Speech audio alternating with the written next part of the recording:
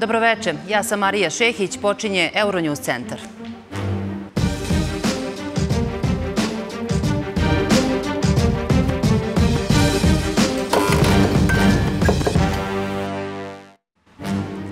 Predsjednik Srbije najavio je mogućnost održavanja izbora do kraja godine i precizirao parlamentarni, beogradski, pokrajinski i u nekim opštinama. Pomenuo je i konkretan datum, 17. decembar. Već sledećeg dana predsjednici opština i gradonačelnici počeli su da podnose ostavke. Među njima i gradonačelnik Beograda. Nakon zvaničnog zahteva dela opozicije da izbori budu održani do kraja godine, stigao je i zvaničan odgovor predsjednika Srbije. Mi smo spremni za izbore od 17. decembra već. Mislim da to ne možete da idete 24. je badnji dan katolički. Znači 17. Možemo 23. Znači 17. Da decembra će biti održani izbori. Da, mogu da budu. Mogu da budu mogu da budu na svim nivoima osim predsjedničkih i to svi u isto vreme.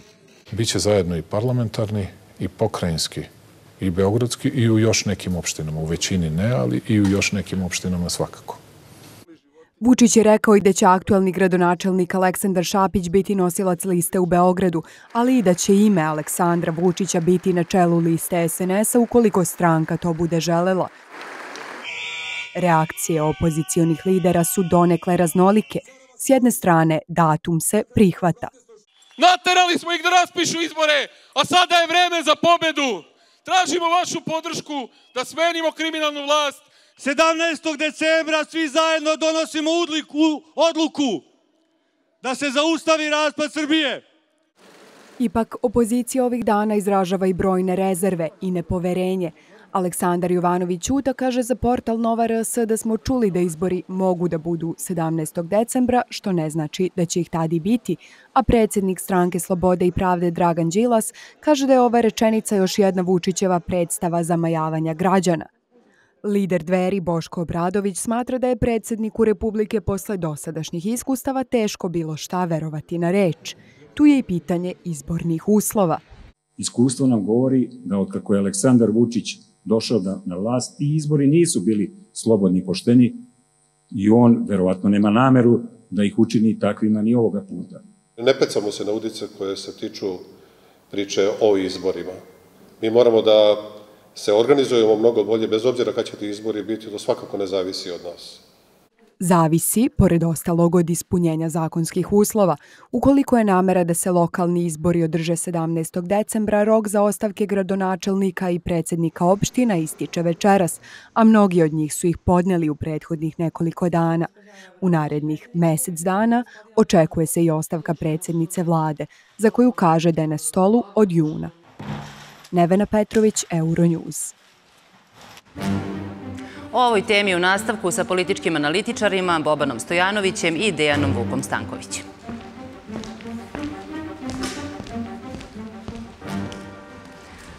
Gospodo, dobrodošli u Euronews centar. Dobro večer. Odmah na početku, verujete li da ćemo imati izbore 17. decembra? Da. Zašto ne bi?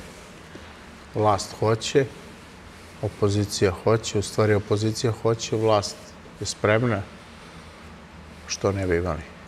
Šta vi mislite? Delo je da hoće, ali ne, ne, ne bih ja i dalje bio 100% siguran i samo, samo se pitam kome odgovara ova nekakva vrsta neizvesnosti. Ja, ja čak mogu i da kažem, malo sam već postao umoran, iako ova neizvesnost traje, mislim, realno traje već mesec dana. Mm -hmm. I da, predsednik je rekao može 17. onda pitaju predsednicu vlade kada će podneti taj zahtev, obrazložen predlog za raspuštanje vlade, ona, ona ne, ne govori da će dati. Pojedini predsednici opštine i gradonačelnici daju ostavke. Ne znam kome odgovara to sad, ovo da mi diskutujemo evo danima o tome.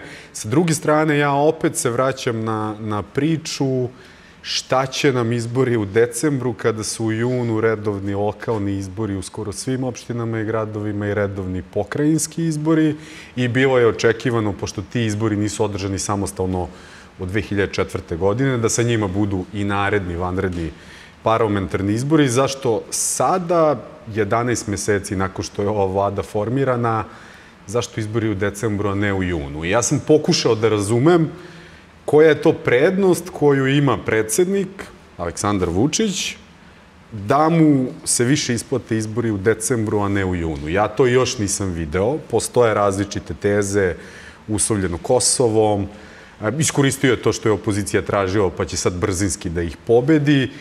Ja i dalje nisam video taj razlog i nekako s obzirom da znam da ti lokalni izbori, odnosno ovi gradonačelnici koji su podneli ostavke, nakon 30 dana, ako se ne izaberu novi, a možda se izaberu novi, mislim, ni, deloje mi da ne možemo sa sigurnosti da tvrdimo da će biti izbora 17. onda postoji rok od dva meseca da se raspišu izbori, tako da predsednik ako hoće, može da nas drži u neizvesnosti i tamo negde do februara, marta, a onda se tek pitam zašto četiri ne, ili pet meseci pred izbore i ono što je za mene u stvari najvažnija stvar.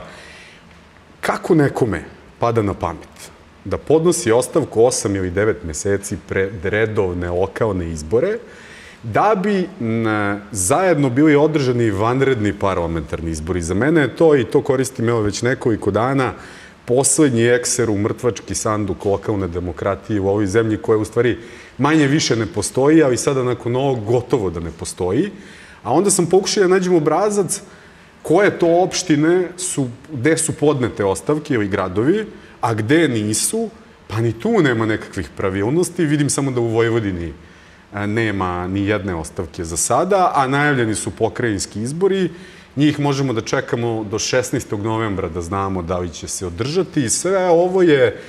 Ja, ja zaista verujem da, da se na mom licu vidi da sam umoran od ovog i da mi je čak preko glave da tumačimo šta će predsednik da odluči, ja znamo da on manje više o svemu, o svemu odlučuje. Jedino što mi je Posebno iznenađujući to je pitanje Beograda, ali verujem da ćemo se kasnije doteći tog. Dobro, predsednik je rekao da oni mogu da budu održani 17. decembra, ne i da će biti održani. Doduše, opozicija je tražila e, izbore. E, e sad, pitanje je i kakve izbore, da li objedinjene izbore, da li izbore na svim nivoima ili ne.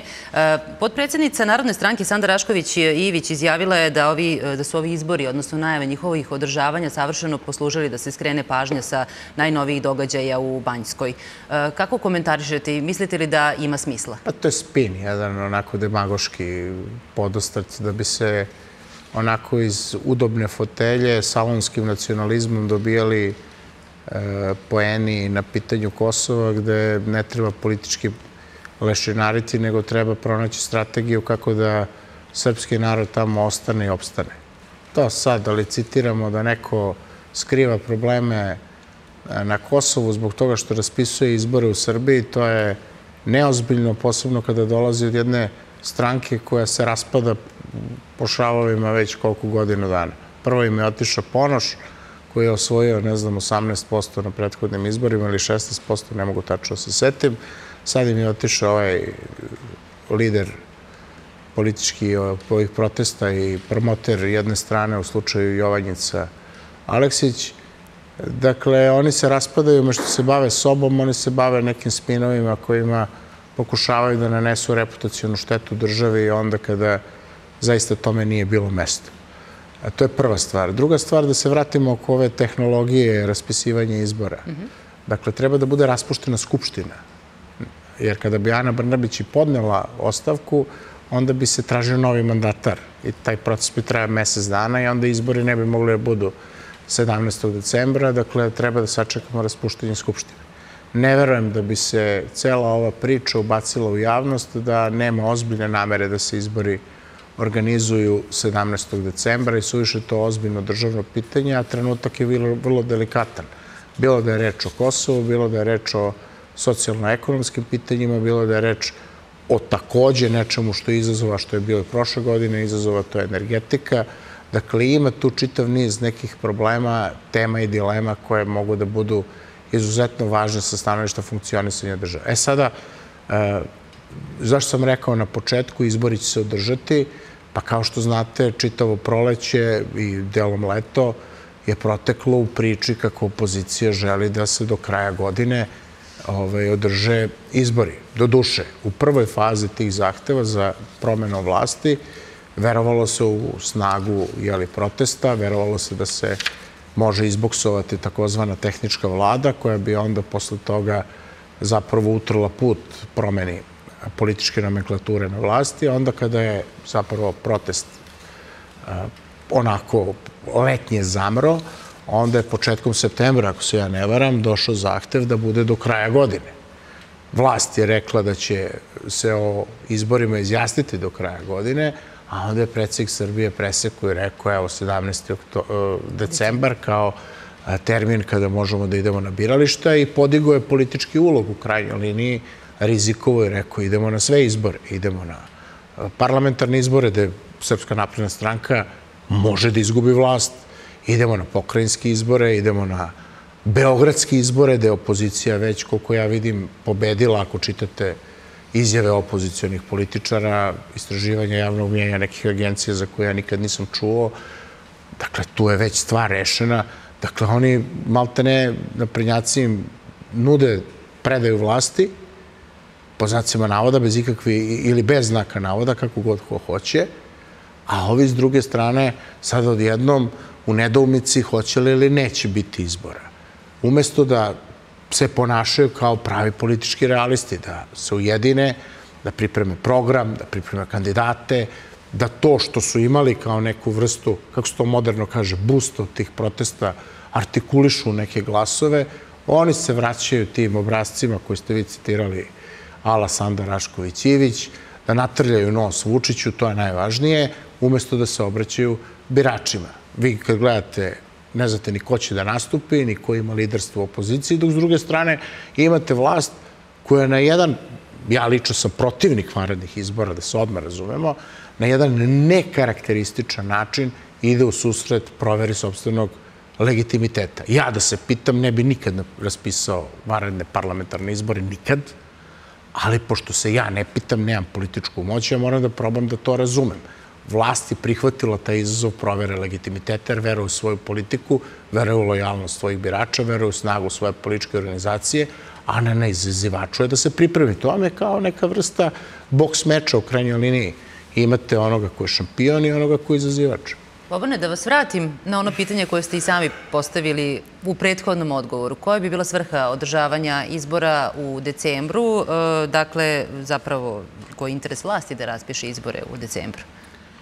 Ja je ne vidim, zato, i, zato sam manje više i prethodnih mesec, dva, pošto bavimo se time mesec, dva, da. to je Dejan Vuk u pravu, bavimo se vanrednim izborima mesec, dva, tvrdio i bio spreman i da se kladim. Ma ne, kladim, duže, duže, duže, u junu smo mi imali emisiju. Vrlo moguće. Da. Iako ovaj, uvek treba na, na, na televiziji reći ne treba se kladiti ne treba to podržavati, ali bio sam spreman da stavim novac na to da će izbori biti u junu, jer nisam video jedan jedini razlog za njihovo održavanje u decembru i ne vidim ih ni sada. Jer Aleksandar Vučić sigurno nije izašao u susret opoziciji zato što je nekakav demokrata i smatra da evo opozicija dovodi upitan njegov legitimitet, pa će on sad da odgovori na demokratski način slobodnim i poštenim izborima. Mislim, to, to nije tačno. Ja pokušavam da uh, razaznam šta je to što oni imaju u decembru, a hipotetički neće imati u junu. Ne vidim, niko do sad nije ponudio dobro obrazloženje, da ja mogu da, da tvrdim samo da to može biti ili duboko iracionalna odluka, ili sa druge strane nam prolazi nešto veliko što niko ne može da razazna šta je to. Pritom ne upadam u teorije zavere, dosta se izgovora za izbore čuo sada, od Kosova preko litijuma, energetike i tako dalje i tako dalje. Mislim da ništa od toga nije stvar koja ne može da, da sačeka ili Vučića nekoja sačeka šest ili sedam meseci. Ja bih samo morao da ukažem na jednu stvar, evo sad u odbrani, u odbranu Sande Rašković-Ivić, mislim nevezano kogo daje, uh, Mislim, predsednik Aleksandar Vučić je, obraćajući se naciji na RTS-u i pričajući kako su tri naša državljanina poginula, iskoristio priliku da između ostalog i u toj emisiji priča o izborima. Tako da, ako neko meša ono što se desilo u Banjskoj sa izborima i nadkrivanjem a, teme Kosova sa temom izborima, to je uradio Aleksandar Vučić u toj emisiji. Sada reagovati i kritikovati opoziciju, što to tvrdi, a predsednik prvo, prvo pričao 90 minuta o onome, a onda automatski prebacio na priču o izborima, pa zašto on nije, ako već idemo na izbore, s tim što ja zaista verujem da valjda nismo to i sprdnje od države. Ja sad izvinjavam što koristim ovaj termin. Ali ako slučajno ne bude izbora 16. Pa mi smo otišli do đavola. Mi smo otišli potpuno do đavola, ovde više ne postoji ni i od institucije nekakvog pravila ili držanja za reč. Pa i vi biste, Ali, ne, samo, samo, samo da završim. Ali ta ideja da se natkriva tema Kosova, ja pritom ne verujem da to Aleksandru Vučiću ide u korist. Ja mislim da treba da se razazna sve što se desilo, ko je odgovoran, na koji način je odgovoran. I, ne, i e, na primjer, postoje teorije i njemu se sada ljulja rejting zbog Kosova, ovo što se desilo njemu utiče na rejting, po meni bi, ja sam to, na primjer, očekivao to veče, da će on izaći i reći sad, pored Kosova, vi mene pitate o izborima. Ne mogu sad da razmišljam o izborima. Zemlja nam je bukvalno bila na granici rata, vi me pitate o izborima. Ja sam to očekivao. Ne, on je izbacio datum. 16. je rekao pokrajinski, 17. je rekao pokrajinski, rekao beogradski i nabacio tu temu na ko kojom se, se mi svi bavimo. Odgovoran državnik Znači da je Aleksandar Vučić državnik, ali nije državnik, već jedan autoritarni lider, bi to veče iskoristio samo da priča o Banjskoj, a i ako je planirao izbore za 17. decembar, sačekao bi da prođe makar 10 dana od onih tragedija, a ne da nam nametnu Pa to kao e, temu. pa i vi biste E sačekali da prođe 10 dana, da dan posle Banjske nije krenula licitacija oko toga ko će vrši da mu spočita krivicu za ono što se desilo u obračunu između samoorganizovanih Srba i albanske e, policije sa Kosova koja je tamo bila nelegalno i koja vrši teror u kontinuitetu. E dobro, a sada Znate, samo da vas pitam, vas pa dvojica čekajte, to bolje ne, znate. Dakle, da li je Aleksandar Vučić samo- ikada organizovao, neću- samo da pitam, da li je ikada organizovao izbore, a da nije bio uveren da će ih dobiti? To je ono da se vratimo, Pa koji je interes nije- vlasti, E, izvinite, samo da postavim pitanje. A, Koji je interes vlasti da u ovom trenutku budu izbori? Do sada je Aleksandar Vučić e, na nekoliko prethodnih izbora igrao na tu kartu, imao tu kartu u rukama faktora stabilnosti u regionu. U ovom momentu mu ta karta nije u rukama, ako ćemo po onome kako Zapad čita događaje sa severa Kosova. Prvo i osnovno, niko nikada nije organizovao vanredne izbore, a da nije bio uveren da će da pobedi. Tadić je dao ostavku, to jest, kako se tada tvrdilo, skratio mandat 2012. godine da bi dao šansu svojoj političkoj opciji, svojom predsjedničkom kandidaturom da pobedi. Dakle, to je prosto činjenica našeg političkog života. Svaki put kad idete na vanredne izbore, vi idete sa uverenjem da ćete da pobedite. Ne idete sa uverenjem da ćete da izgubite. Zato ja i zato ja mislim da je to neka vrsta nepotrebnog rizika. Na vanredne parlamentarne izbore se ide u dve okolnosti. Prva je da imate sukob unutar izvršne vlasti, kao što ste imali 2007. na 2008.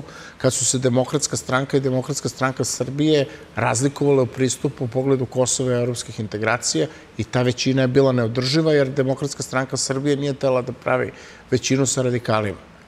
To je prva okolnost. Druga okolnost je kada e, vladajuća koalicija izgubi većinu, kao što je to bilo 2003. godine, kada je Živković morao da raspusti parlament, da podnese ostavku i da izađe na izgubar, izbore i tada je ta opcija izgubila izbore.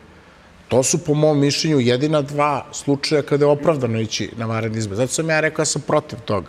Ja sam da to traje četiri godine, ja sam za ovo što kaže kolega Stojanović, da imamo lokalnu demokratiju, da kao što u Velikoj Britaniji imate dve godine razlike između izbora na nacionalnom nivou i na izbora na lokalnom nivou. Ja sam za to da se recimo na lokalnom nivou, s obzirom na prirodu tih izbora, bira direktno odbornik, da se gradonačelnik bira direktno.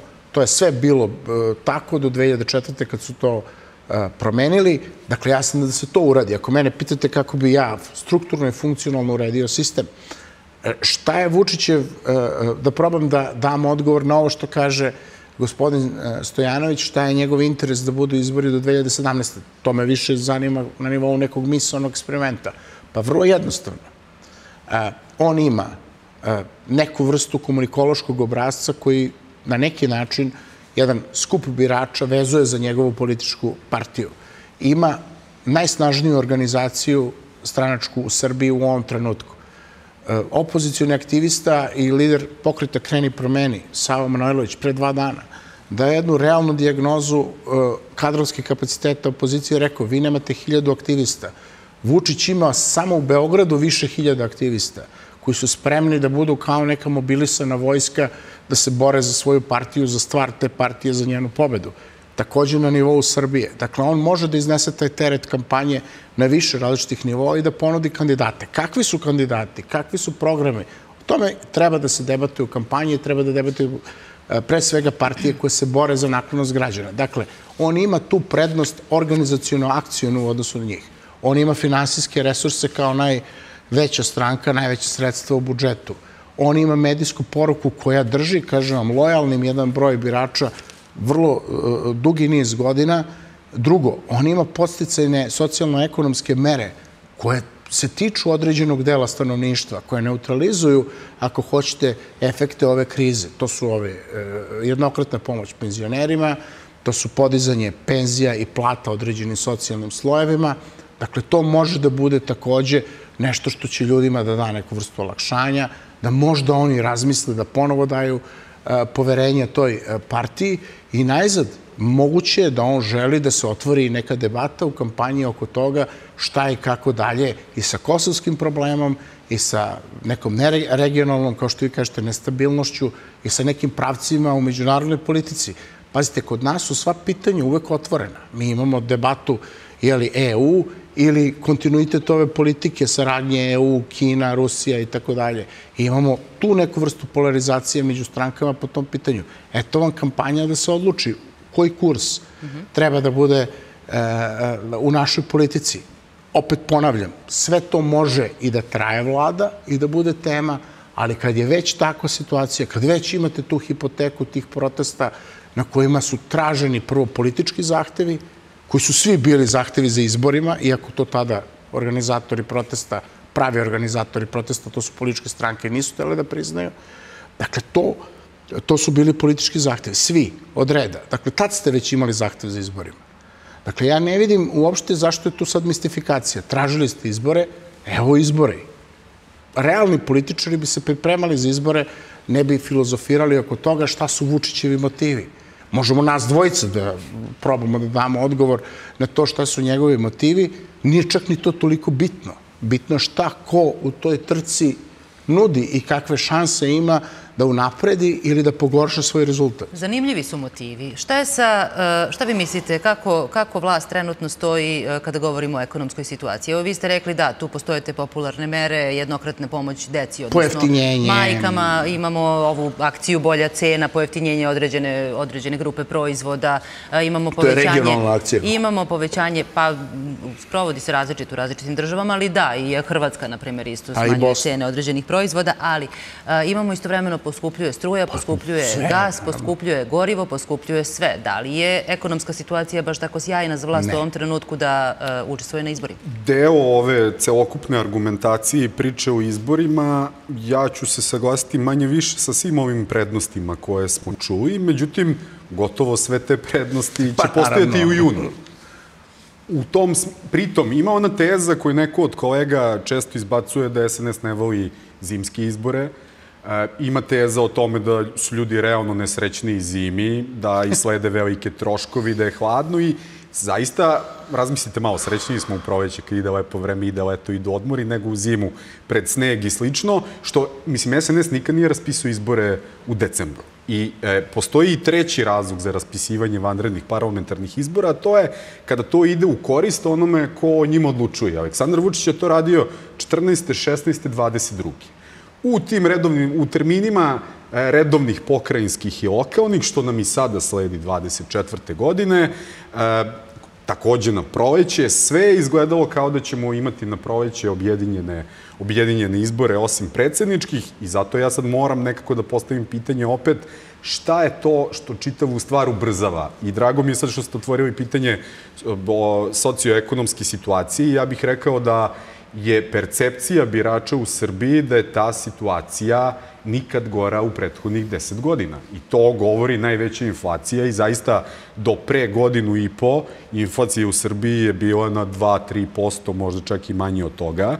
Bilo je naravno ekonom... i kao što i ceo svet rasta u tom periodu, tako je rasla i Srbija. Mislim, kad god je Srbija imala pozitivan ekonomski rast, imao je bukvalno ceo svet, jeste nezaposleno smanjena, smanjena u čitavom svetu, svuda je makar u Evropi ozbiljan problem sa radnom snagom, pa se smanjuje kod nas. Međutim, sada su neke stvari, ja bih rekao, došle do znanja biračima i ako se pitamo zašto neke od akcije vlasti, ja se nadam da zaista nećemo trošiti vreme večeras i na to, to je pokušaj da se Aleksandar Vučić, pošto setimo se da je on izlazi u jednom performansu da predstavlja socioekonomske mere, da, se on, da on proba da stvori percepciju kod svojih birača da evo, Vučić brine i o tome šta imamo u frižideru. I sad i to, i to je njegovo priznanje da u Srbiji vlada godinama izuzetno loša politika, jer ako vi morate da snižavate cene e, najosnovnijih životnih namirnica, to znači da imate ili veliki broj siromašnih ili potencijalno veliki broj ljudi koji su u riziku od siromaštva.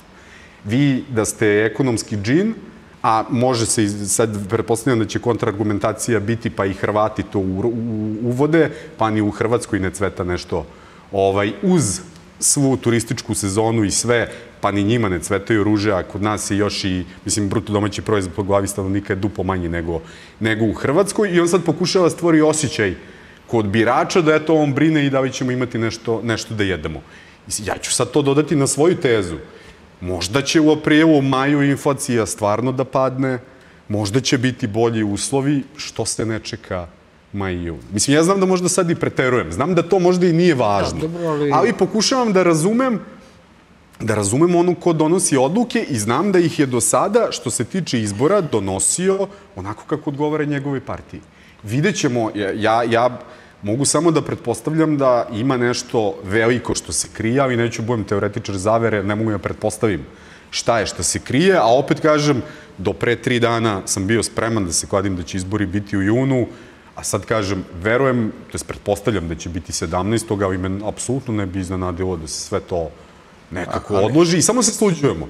Ja, ja zaista mislim da ću doneti odluku da, da o izborima više ne pričam dok zvanično ne budu raspisani, jer nit mogu da verujem Aleksandru Vučiću, nit pronalazim racionalnu argumentaciju. Mislim, ja znam, postojali su ljudi koji već mesec dana tvrde da biće izbori u decembru. A oni imaju informaciju, ali imaju obrazloženje zašto u decembru ja, evo, pozivam i struku i kolege da, jedan moj kolega, evo sad ću da ispričam, ovaj, da ispričam jednu malu anegdotu, kad smo u jednoj grupi razmišljali o tome šta su razlozi, on je poslao ovako jedan veliki ovaj, štos knjiga o teoriji racionalnog izbora, odnosno kako ljudi donose odluke.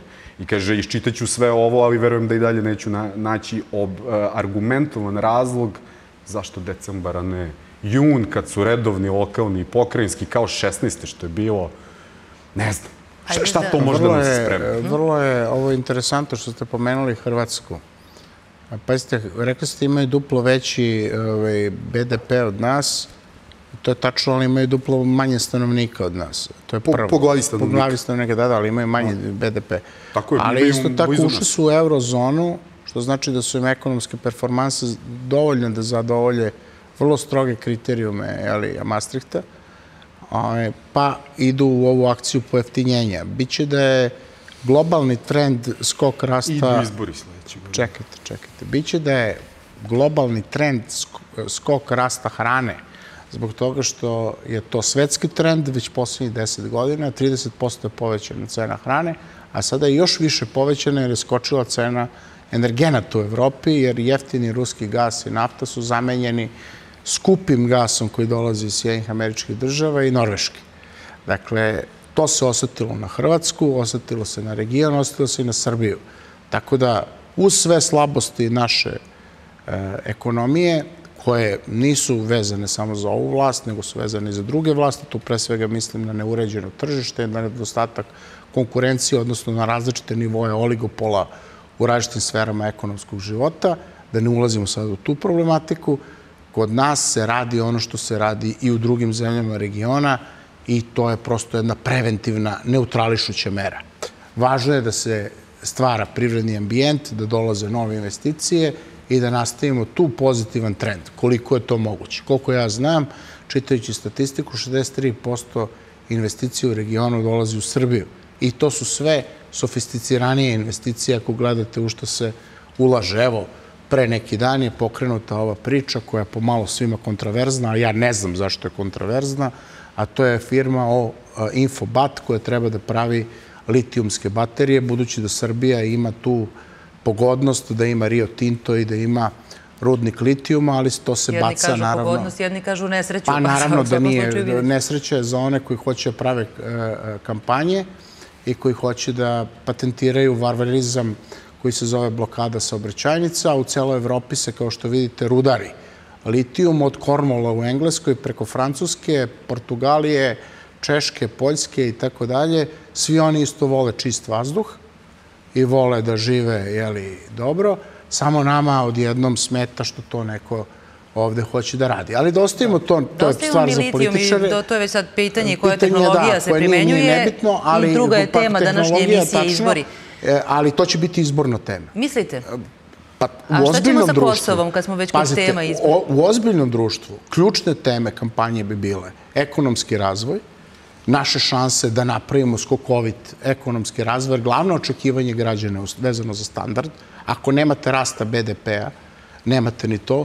Ja sam pročitao jednu studiju nezavisnu koju je pravila jedna britanska kuća, baš oko toga, Ergo, Ergo Group se zove, koja kaže da je moguće 3% skoka BDP-a ako, ako, ako zaživi investicija Rio Tinta i pokrene se ekonomski ciklus. Mislite li dakle, da, bi, da bi za vlast bilo dakle, pametno da u ovom trenutku upotrebi uh, kopanje litijuma kao, ne, kao ne afirmativnu temu ne, u kampanji? Ne mislim jer nije spremno javno mnjenje, posejana ekološka demagogija uh, i ovaj, ekopopulizam i tekako poslednje, uh, poslednje dve godine. Zato bi ja držao se redovnog termina i da sam ja političar davno bi prelomio u tom pravcu, jer je cela Evropa to uradila. A drugo, kopanjem litijuma bi se vi strateški vezali za Evropu. Reću vam i zašto. Zato što Evropa hoće da izbegne zavisnost od Kine po pitanju litijuma, kao što je bila zavisnost od Rusije po pitanju nafte i gasa. Ali to da ostavimo po strani. Ako Amerikanci to smatruju pitanjem nacionalne sigurnosti, eksploataciju litijuma, mogli bi mi da razmišljamo o svojim prednostima. Hajde da litijum ostavimo da po strani, pošto imamo još 10 minuta. Hajmo na e, opoziciju, molim vas. Šta na opoziciju? Pa opozicija hoće izbore. Ne, kakva je pozicija opozicije, opozicije ukoliko bi se izbori održali 17. Pa prvo morate da artikulišete šta je opozicijoni subjekt. Vi imate danas vrlo razuđenu opozicijonu scenu. Ideološki se oni razlikuju na ove euroreformiste, ekološke populiste i na ove, e, kako se zovu, desne, e, konzervativne populiste. E, oni idu u više kolona, imaju više stranaka. Šansa da uspeju je da se grupišu u tri, recimo, ili četiri te kolone. Ja sumnjam da će to uspeti i bojim se da ćemo imati manje više reprizu kada je reč o rezultatu ako ne nametnu neku svoju temu i ne nametnu neke odgovore na tu temu, imaćete reprizu onoga što se desilo kad pre godinu i po dana. Opozicija je jedan deo opozicije, to ovaj deo koji je nastao zapravo iz demokratske stranke, nekada jedinstvene, misli da je, recimo, pitanje Beograda već presuđeno, što je velika naivnost stanovišta real politike. Što se tiče Srbije, tu je SNS nacionalno nivou favorit. Lokalno ne znam kako su jaki odbori stranaka opozicije, ne znam ni kakva je snaga iskreno ni odbora Srpske napredne stranke, tu će se verovatno lomiti koplja i tu će se verovatno zapravo ići na to da dobar rezultat na republičkom nivou povuče lokalne liste, zato se to ispaja, ali Beograd će biti recimo zanimljiviji od ostatka Srbije po pitanju opština i verovatno zanimljiviji od trke na republičkom nivou, samo zato što opozicija ovih godinu i po dana nije iskoristila da konstituiše različite ovaj, subjekte kao, artik, kao organizovane i jedinstvene, jer mi imamo previše stranaka u opoziciji, to E, prosto, ja mislim, zbunjuje prosječnog birača. Šta vi mislite? Dakle, e, i proevropska opozicija najavila mogućnost grupisanja i e, izgleda, evo, čitala sam malo pre naslovnice za sutrašnju štampu i možda bi, mislim, možda čak 5. oktobar bio taj datum kad bismo mogli da saznamo da li će ići u jedno ili u više kolona. S druge strane, dveri Boška Obradovića su usvojile onaj proglas o nacionalnom okupljanju, Vuk Jeremić je pozvao na nacionalno okupljanje i ujedinjenje, Nada, koalicija Nada takođe. Šta mislite, e, kakva je pozicija opozicije pred ove izbore i da li opozicija ovoga puta, ukoliko izbori se održe 17. decembra, ima šanse da dobije Beograd? Ja moram samo dve rečenice o Rio Tintu, pošto smo čuli. Meni je fascinantno kako je ogroman broj ljudi u poslednje vreme postao ekspert za rudarenje litijuma i to gde se sve gradi po Evropi, sve sa ciljem da se javno mnjenje u Srbiji kuva i da popušta povodom to, te teme, jer je to najveći poraz Aleksandra Vučića.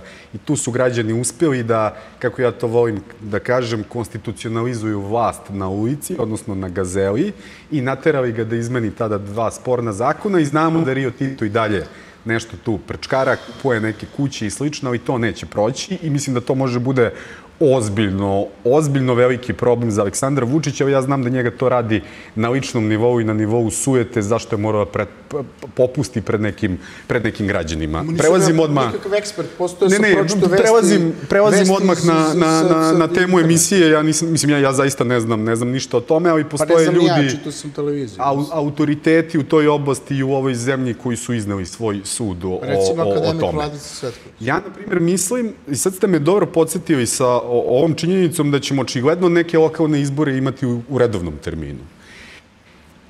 Hajde da se vidimo, na primjer, u aprilu ili maju. Uopšte me ne bi začudilo. Da, pošto to sam ja jednom rekao kada je neko najavio da će biti samo vanredni parlamentarni u decembru. Ne bi me uopšte zadesilo da se ne izabere nova vlada tamo u februaru, martu, pa da imamo još jedne vanredne parlamentarne izbore zajedno sa ostatkom lokalnih, jer ja verujem da Aleksandru Vučiću nije cilj da ide na, na bilo gde na lokalne izbore bez da on bude nosilac liste i da ima nacionalnu kampanju. Ovo je samo teza, možda preterujem, ali možete zamisliti šta bi to bilo za ovu zemlju. To bi značilo da, na primjer, u prethodne tri godine smo imali vladu, na primjer, 11 meseci. Znači, to je ono uredbokratija, vladavina pod zakonskim aktima bez skupštine u punom formatu i bez vlade. Sad prelazim i na, i na opoziciju. Ja mislim da je opoziciji potrebno da izađe u što, na što manje izbornih listi. I evo, u poslednje vreme se trudim da to ne zovemo kolonama, pošto jako ružno zvuči i mene podsjeća na nekakav svod i na uh, kolonu koja ide na nekakvu sahranu, ajde to da zovemo izbornim listama. Ili na petu kolonu. Na, ili na petu, ili na koju god, ajde da A zovemo ima izbornim, izborne liste, što manje da bi se, s- sad ću da se saglasim i sa ovim da su e, e, opozicioni politički akteri razjedinjeni, ne samo svojom krivicom, između ostalog i krivicom Aleksandra Vučića što je ubio partijski život u, u, u ovoj zemlji. Danas je, ja verujem, ljudima van Beograda bezbednije biti lokalni narkodiler nego biti opozicioni politički aktivista. Ovde je čak prihvatljivije za nekoga da kažete da je nečasan i da je lopov, nego da mu kažete da je u stranci. Između Kao što je recimo u, Beo, Između- u centru Beograda Rekao sam bezbednije Beograda. biti, bezbednije biti narkodiler Beograda. nego analitičar, s obzirom da su mene napali na ulici. meni je žao što su vas, što su vas napali i to, Ali, ali to je potpuno tako, druga stvar, ali sa, samo da nije završim. druga, to je prva. Između ostaloga, Aleksandar Vučić je došao u situaciju da mora da razmišlja da svoju stranku pretvara u nekakav pokret. I evo sad ako me pitate, pošto čuo sam da imamo malo vremena, ja mislim da ovoj zemlji treba narodni pokret za državu, ali i opozicioni. Opozicioni narod koji nije SNS-ovski, koji ne, uz, ne uživa lukrative ove vlasti i e, koji mora da sačuva državu. Ovo je država u kojoj obaveštajne službe čuvaju imanje marihuane. Ovo je država u kojoj se uništava domaća proizvodnja oružja da bi se SNS preprodavac prodavao to oružje na crnom tržištu. Pričamo o Krušiku i u Jovanjici. Ovo je država u kojoj cvetaju kriminal i korupcija. Ovo je država u kojoj su državni sekretar i bivši ministar unutrašnjih poslova i odbrane, pričamo o Nebojši Stefanoviću i Dijani Hrkalović, bili optuženi za državni udar, da pripremaju, da prisuškuju predsednika Republike, pa pošto verovatno znaju nešto o svim tim sumnjivim poslovima, evo danas ih stranka ali, nisu na javnim funkcijama, ali ih brane. Ja sad samo pričam o činjenicama koje manje više Ali to svi su znamo. sve nedokazane I pretpostavke. Ovoj zemlji, evo čak ću prihvatiti da su nedokazane pretpostavke, Ali na ali, sudu to, se dokazuje ali to, da, da je Srpska napredna stranka optužila Nebojša Stefanovića da je prisuškivao predsednika, a da on danas obilazi odbore Srpske napredne stranke, to je činjenica. Možete da uđete na njegov Instagram i da proverite da svaki drugi dan obilazi nekakav Iskreno, odbor. iskreno I ja to- nemam toliko vremena koji... Ovaj, ali, ali da, Da vas se vratim razumem... na pitanje. Da, E, sad, Ima li ne, opozicija Moram da- pošto je da- taj, samo jednu e, stvar. ne, Da pošto, pošto je. Dejan Ja pitam, Vukstanković da li spomenuo da je postoji- napadnut, ja ću sad samo da vam kažem, taj ministar kojim se ja bavim, je meni pretio na mnogo gori način nego što ste vi doživali, ovo nikad nisam rekao, ali sad ste me izazvali. Što sam vas ja izazvao, što su mene napali? Zato što to koristite, evo ja to ne koristim kao nikakvu argumentaciju, Recimo. ni Ne, imam neću, postupak ali sad sad. jedan na jedan možemo da koristimo. Ja ako vas pita zašto pratim bivšeg ministra koji je između ostalog optužen za državni udar, zato što me zanima. Između ostalog, zato što sam imao ozbiljne životne probleme zbog njega. Ali da se vratimo na opoziciju. Ova problem? opozicija mora da se ukrupni, da shvati da mora da neke teme ostavi po strani da bi smenila jedan nedemokratski režim koji je ovu državu pretvorio u državu mafije. I mene stvarno ne zanima što, ja to volim sad da spomenem, moja koleginica Biljana e, Đorđević i moja koleginica Milica Đurđević-Stamenkovski imaju različite poglede na svet. Međutim, dok se one svađaju oko svojih pogleda na svet, Aleksandar Vučić će na demokratski način odlučivati o tome kako će i jedna i druga i ja i Dejan Vuk Stanković i vi Marija da živite. E, samo Da li je opozicija, da li je samo opozicija sve ove teme o kojima vi govorite kapitalizovala? Evo da vas vratim na Beograd. Vi kažete opozicija Ne, ne, ne, ne, veruje samo da bi ne, ne, mogla da samo dobije Beograd. stvar, Verujete samo li vi da bi opozicija ne, ne. mogla da dobije? Ali jedna Beograd? stvar mora Samo da moment bude- da odgovori na ovo pitanje prethodno koje sam mu postavila. ja sam, na primjer, tvrdio da izbora u Beogradu neće, vanrednih neće biti, da će naredni biti 2026. godine. I ja sam na onom racionalnom stanovištu, niko ne raspisuje izbore na kojima može da izgubi. I ja sad ovu ostavku Aleksandra Šapića tumačim kao da je on siguran da će pobediti i ponovo biti gradonačelnik, ali opet ona istraživanja i rezultati izbora od pre godinu i po dana mi govore da tu postoji prostor, jer podsjetiću, opozicija je imala 70.000 glasova više, zato što su neki ostali ispod cenzusa, to je završilo na 56-54 za, za vlast. Ali ako mogu negde da pobede, to su verovatno Beograd i bez obzira na ovu priču i veći gradovi poput Novog Sada i Niša, jer samo u Nišu ta organizacija koja nam vodi državu, ja je zovem mafijaškom organizacijom, ima 5-6 klanova i tuku se na sastancima gradskog odbora i slično. To imamo svedočenje iz Niša, gde se ne zna ni ko je glavni, ni, ni čak vrh stranke ne može da ih kontroliše. To je šansa da se neke pobede ostvare na ovim izborima koji slede. Hteli ste Evo ovako, da kažete. znači prvo ja sam pomenuo ovaj, svoj slučaj kao stvar principa, ne kao stvar mene lično. E, što se toga tiče, gospodine Stojanoviću, taj postupak vodi državni tužilac po službenoj dužnosti. Tako i treba. I kvalifikovan je kao delo protiv sigurnosti, dakle ja time ne manipulišem i neću da komentarišem postupak. Tamam posle prva da sam stvar. to mislio. Ako mislite da Samo neko treba da me napada... Ne, ne, ne, samo da sam da iskoristio napada, lični primer i ja. Ne, ne, ne, Nisam rekao je. da- da- U redu, je. ako da vi nešto treba drugo. neko da me napada, u redu je. Nije, Jesam nije ja to rekao? Ne, ne, niste. Ali, ali, ali neću da ulazim. Kao što sam siguran da vi možete kažete da jedan ministar ne treba da Ne, preti bilo kom... apsolutno ne. Saglasni ja smo oko nikad svega. ne bih pretio ni vama, ni bilo kome. Kao što znate, mi imamo svega. kontinuitet pristojnih razgovora. Druga stvar, što se tiče tih afera koje vi pominjete, dakle, afere Krušik, afere Jovanjice slično, o tim stvarima o kojima se vode sudski postupci, možemo da govorimo tek onda i jedino onda ako se držimo načela vladavine prava, kada dobijemo pravosnažne pre- presude. Ne mogu, koliko god bili hrabri takozvani istraživački novinari ili bez takozvani istraživački novinari, da presuđuju u slučaju. O tome presuđuju sudske instance u prvom stepenu i u drugom stepenu. To je tako svuda, tako i u Srbiji. Od toga se prave kampanje i kao što vidite, vi ste pitali da li je to kapitalizovano. Pa nije kapitalizovano. Samo je kroz takve medijske natpise izvršen pritisak na sud, izvršen pritisak na jednu od strana u postupku i ako hoćete stvorena jedna slika o tome kako u Srbiji vladavina prava je na klimavim nogama, jednom reču Srbi su narod koji nije stekao neku vrstu političke zrelosti da može da ima pravnu državu. Slika ili realnost, zavisi koga to pitate. Je ono, to je ono što je epilog tog olakog etiketiranja toga da je država preko obaveštenih službi štitila Koluviju koji je i tekako bio privrednik i ranije, ne samo onda kada je upao neko i tamo video neki THC koji je 0,5 ili 0,3 bio veći ili manji, da ne ulazim, da ne postajem ekspert za te stvari, ovaj, dovoljno ste me optužili zašto čitam agencijske vesti da sam postao ekspert za litijum. Dakle, da ne ulazim sad u to da postanem ekspert za THC, mada znam ovaj, o čemu se radi, slučajno jer poznajem advokata u tom procesu, procesu jednog, ne jednog, nego dvojicu, ali nebitno je to sada. Dakle, o tim stvarima, i to je greška opozicijonog diskursa, ako hoćete, ne možete da sudite preko kolena. Neko je kriv kad se to dokaže na sudu i kada se dobije pravosnožna presuda. Nije kriv pre toga.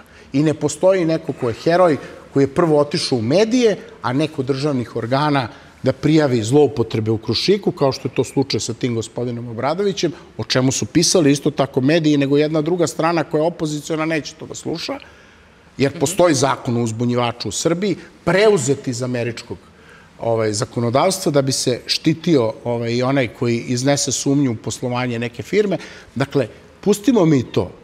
E, postoje naravno manjkavosti, daleko od toga da živimo u savršenom svetu i logičnom svetu, ali olake konstatacije su u krajnjoj liniji uništile taj alternativni put na gledanja na politiku i tumačenja događaja. Ne, ja, ja moram samo da reagujem, ovo bi sve Molim bilo lepo kratko. da je to tako. Međutim, koliko imamo punožnanih, puno, punosnažnih presuda, da je Đilas lopov, da je Zelenović lopov, da je Radomir Vazović lopov, da je Jeremić lopov, da je čitava opozicija su žuti pokrao i sve. Nula pravos, pravosnažnih presuda o tome, a vlast ih je oblatila prethodnih 11 godina svaki dan. Mi, Miroslav Aleksić, Miroslav Aleksić ima čak i puno, punosnažnu, punovažnu, sad ne mogu iz- iznervirao, pravosnažnu presudu da nije uradio ono zašto ga optužuju, ne znam da je sa tastom nešto ovaj, pokrao u Trsteniku, međutim oni, čim se on ocepio od Narodne stranke, skočio mu rejting zbog protesta, vraćaju odmah to, iako postoji pravosnažna presuda da nije kriv za to. Utoliko njemu Evo lakše sad da se brani. trenutka ću morati... Vlast, deset godina priča Đilas lopov, nula pravosnažnih presuda, A a, ja ne smem da spomenem Jovanjicu. A Evo. on izgradio a, rejting Mišković lopov, na tome je Vučić uskočio rejting, eno ga čovek slobodno šeta. Nula pravosnažnih posto. presuda. Dobro, ovog trenutka ćemo morati da zaustavimo razgovor. Meni je stvarno zanimljivo da vas slušam, ali nam je došao kraj emisije. Nismo odgovorili na pitanje da li će biti tih izbora 17. decembra ili ne, a morat ćemo još malo da sačekamo da čujemo odgovor. Hvala vam, gospodo, što ste bili naši gosti večeras. Hvala vama. Dejan Vuk Stanković i Boban Stojanović bili su naši gosti. Gledali ste Euronews centar. Ostanite s nama.